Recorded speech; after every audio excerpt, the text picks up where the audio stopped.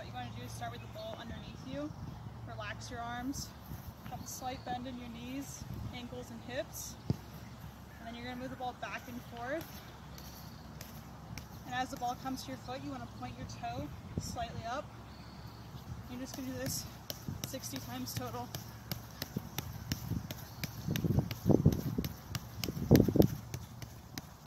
Go as fast or slow as you need to. So this is level one of toe taps. All you're doing is touching the ball with the bottom of your foot and you're alternating as you go. Relaxed arms, relaxed body, practice switching feet. As you get it down more, you can go a little bit faster.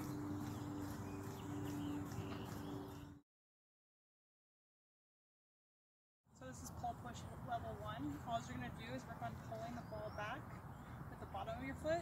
You're gonna push it forward with your laces. So make sure your toes pointed down. You just want to keep the ball close enough where you can grab it so you don't have to move while you're doing it. It's going to be 30 each foot. So after you finish your right foot 30 times, your left foot 30 times.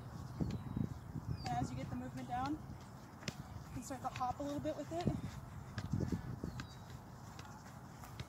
This is really working on your first touch. So that's level one.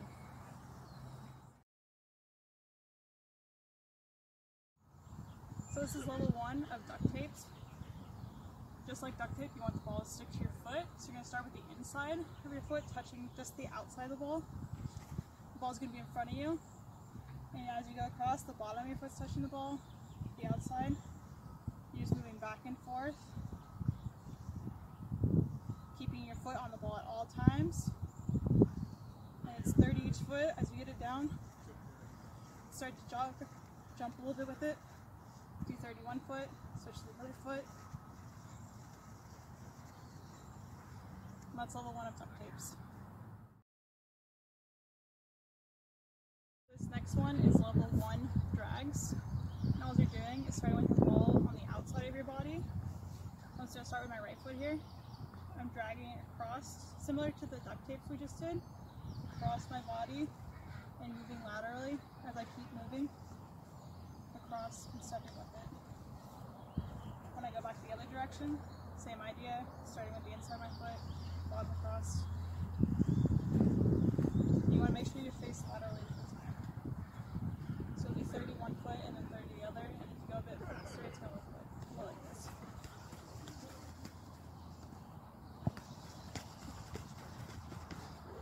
You're just trying to keep the body at the same pace as the ball can go.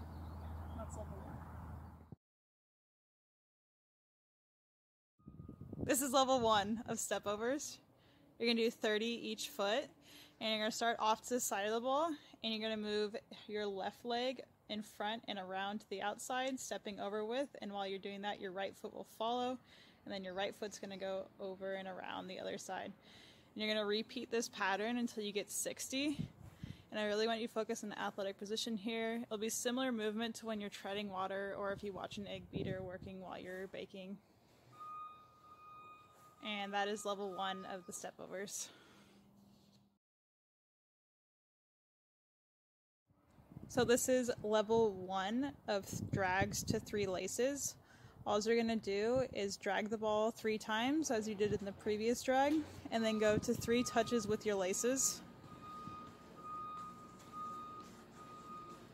You'll do 30 with one foot, which will be 10 sets of the three drags and three laces, and then you'll switch to your left foot for three times as well, three drags into three laces. Make sure you're maintaining an athletic position.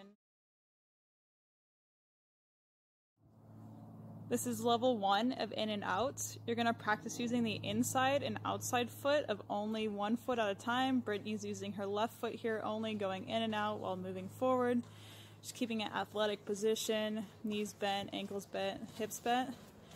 And then she'll go back with the opposite foot.